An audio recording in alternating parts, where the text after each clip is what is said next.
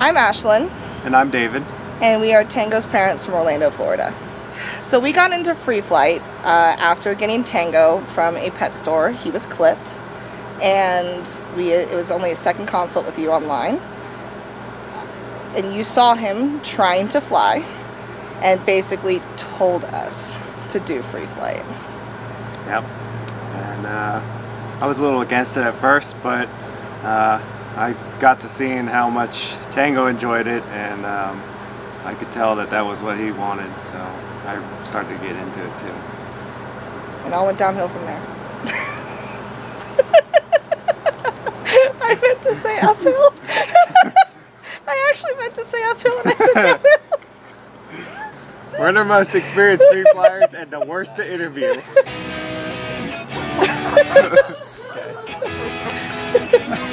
All right.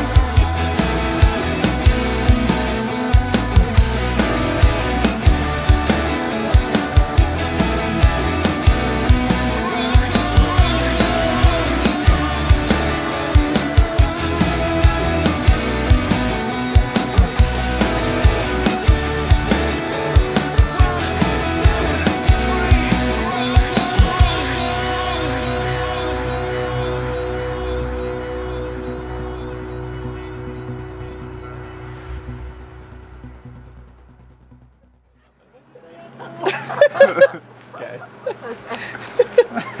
All right. Okay.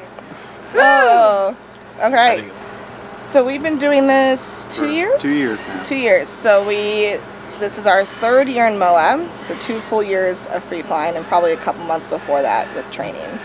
Um, and it's been, it's been better every year. Yep. It's, Steady improvement every year we come. yeah, like it's definitely not the first time you get out here and fly, that's the end. Like we're still learning two years into it.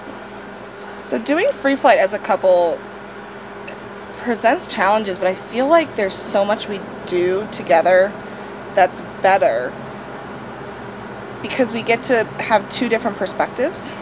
Um, so it's not constantly up to me to read tango or up to David Right. to read tango. Um, and like I am really bad about spatial reasoning and figuring out wind. And it was kind of nice because I never had to. I like I learned it, but I didn't have to figure it out right away. And Yeah, really helped. and we, we complement each other with our strengths and weaknesses, and not only that, but we also help to balance each other out. So- yeah, I'm very cautious, and he's And I'll push Tango a little harder. yeah. So we kind of. I'll sit there and go no no no no no no no, and he'll go yes yes yes yes yes yes yes, And we usually find a compromise. and we find a somewhere in the middle. compromise. Are you ready to go get? He's over there. Yeah. So David is a small dot right there on that canyon You ready to go top. get him? Ready? Conditioning for the hike recall. One,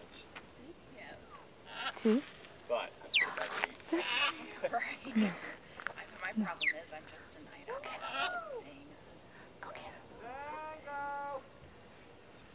Look at him. There we go.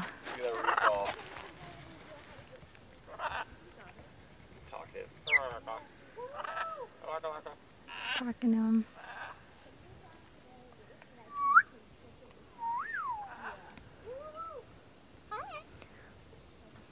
Getting closer. Just communicating, but not not tango, tango, tango. Yeah, so Tango's going climbing, climbing, climbing, climbing. He just made it. Yeah. Nice. That blue dot on the canyon. I don't know how well you guys can see it, but that's how far away he is. Sweet. I'll Oh, give him a second, then he'll come back. yeah, he could even climb up to that next point bridge with him. Seriously, because you guys are gonna be super duper high, because you're gonna be on the ground. Yeah. Yeah, so I would have him climb up to that other point with him so that he remembers where you are. David. Go up that way. He's such a good listener. He can't argue with me over a canyon. So this is how the relationship needs to be. I'm gonna call him Okay, let me check her in a sec. Tango. Oh, it echoed. Woo woo woo. Woo! Oh, he already took off. I didn't even see it. Yep, he's over there. He's coming around the front. Woo woo woo! There he is. Hey, buddy.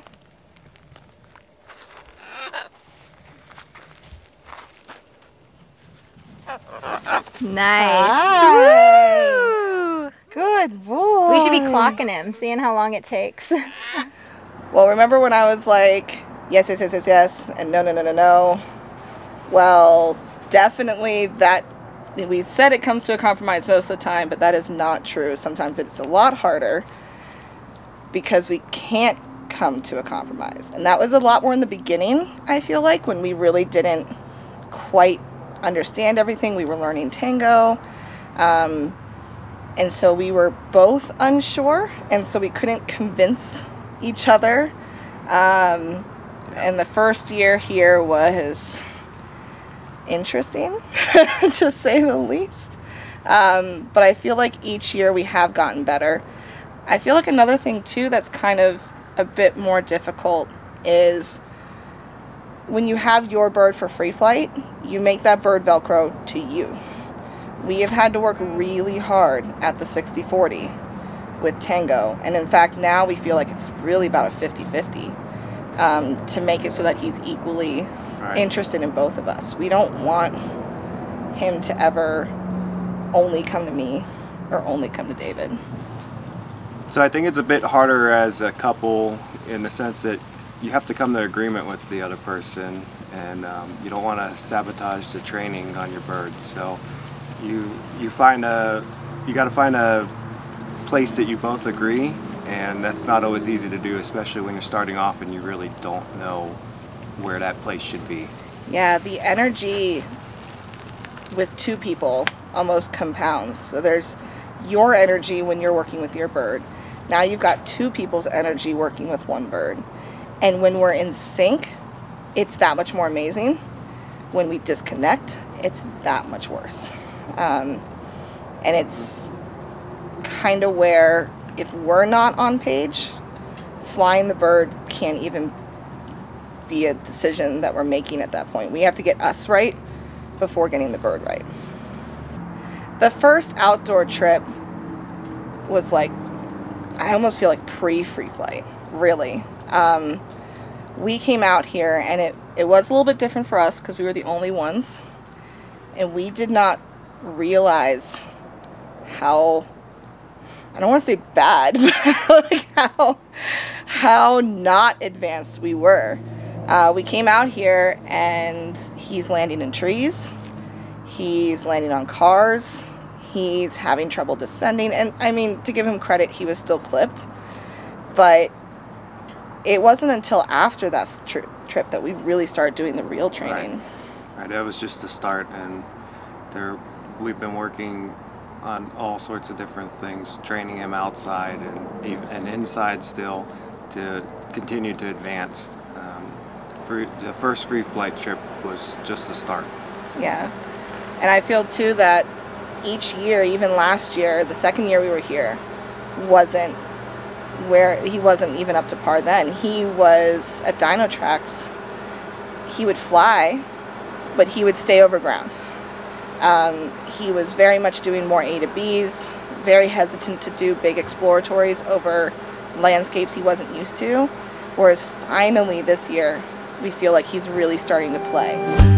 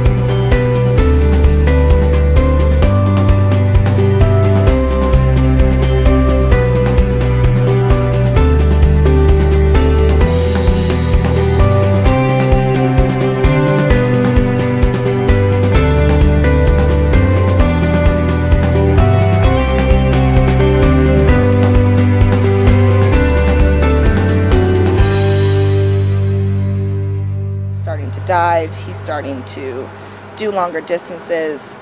Um, I feel like it was really cool this year with the um, Fisher Towers, where David hiked probably about a quarter of a mile and just A to B's across this valley. That would not have been possible last year. Woo woo, Tango! Come on, Bobby. Come on. Come on.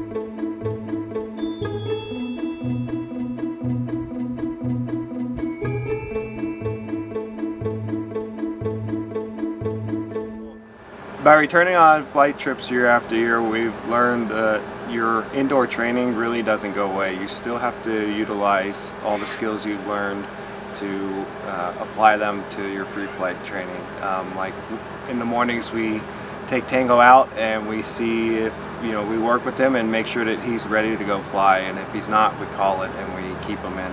We don't we don't fly him unless it's a good day for him. which I think we really did this year, even just in the last two days. We went outside yesterday, he flew wonderfully.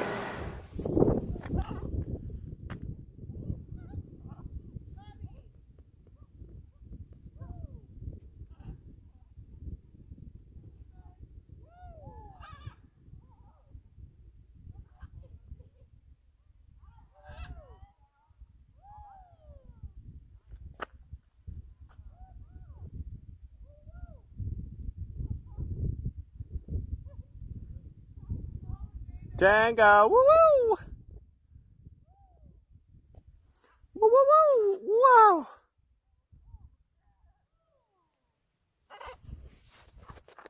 Yeah. Good boy.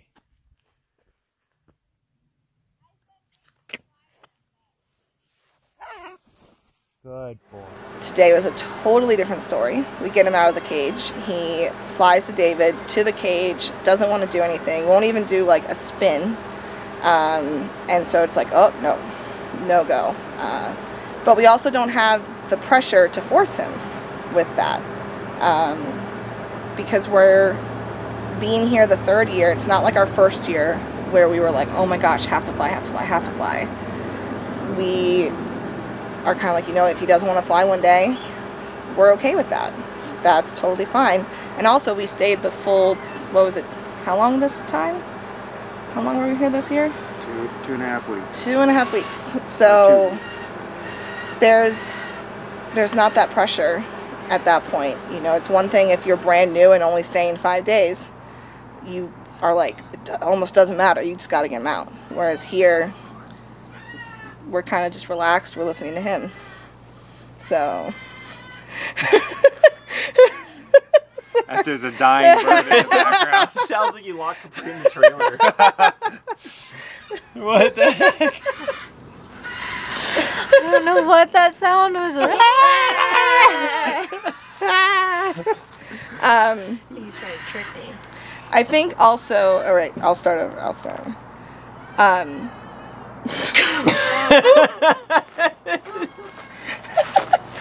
is that? It's Jinx. Oh gosh.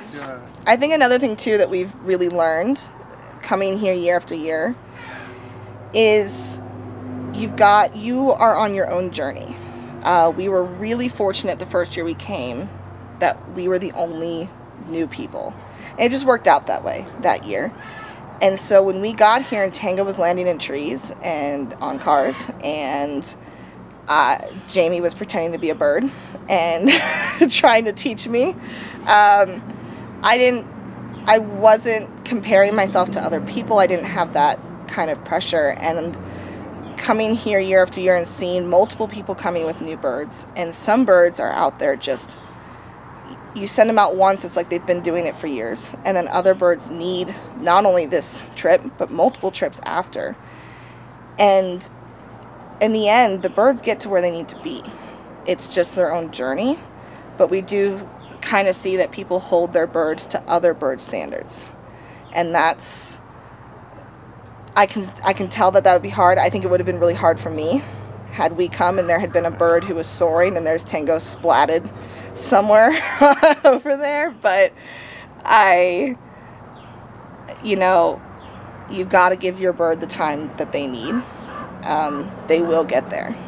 So much in the beginning where I felt like I was trying to be perfect, and I and I wasn't even the bird. I wasn't even worried about Tango not being perfect. It was about me not being perfect, not holding my hand perfectly, not standing perfectly, not uh, calling it the perfect time, and you know I learned those things but I was so hard on myself in the beginning. And consequently, I was really hard on David. And I felt like if I was holding myself to that standard, I had to hold him to that standard. And when we started this, he was not as into it as I was. I mean, he's definitely into it now. um, but he had not watched the videos, he had not done the things. And I would watch him do something and just go, what were you even thinking right? Were, you not thinking? Is your brain over there and your body here? Like i and i would get frustrated him and then i get frustrated at me that i also couldn't do it. I knew what i was supposed to do but couldn't do it. And that i think that really slowed down our progress because it threw the energy off in every session that we were doing and so i i had to learn to just be more accepting of my flaws and to work with them to realize that there's some things that I'm going to be really, really good at, and there's some things that I'm going to always need to work on. If I could go back and give myself some advice, I think the biggest piece of advice for me would be to listen to tango more. Um, it's, hard because you have a goal in mind for what you're going to do that day and you want to do it. And the reality of it is the, you have to work with the bird. And the, the bird will tell you what, what's appropriate for the situation. But um, if I could go back, I would definitely listen to him better and more carefully. If you're thinking about free flight and you're thinking about how long it's going to take out of your day and how much energy is going to have to go into it. And you're kind of you're looking at the cost of it and the travel and what you're going to have to do. And it is a lifestyle change. It is a commitment. But if you're getting a living creature with wings who is born to do this you should do everything in your power you can. For some people i do know that maybe it's not possible to free fly outdoors, especially with smaller birds or if you've got special circumstances. But that's that's no excuse not to at least try to fly indoors and to learn more about it and to educate others that can that it's out there and possible.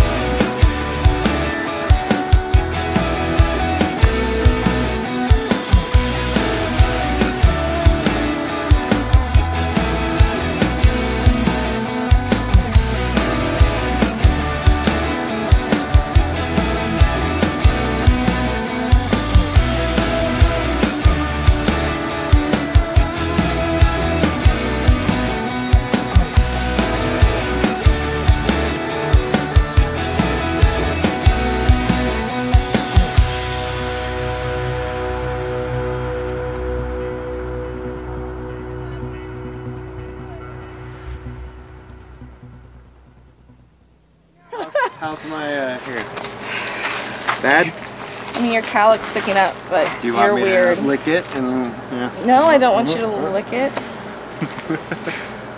like a cat? Are you right?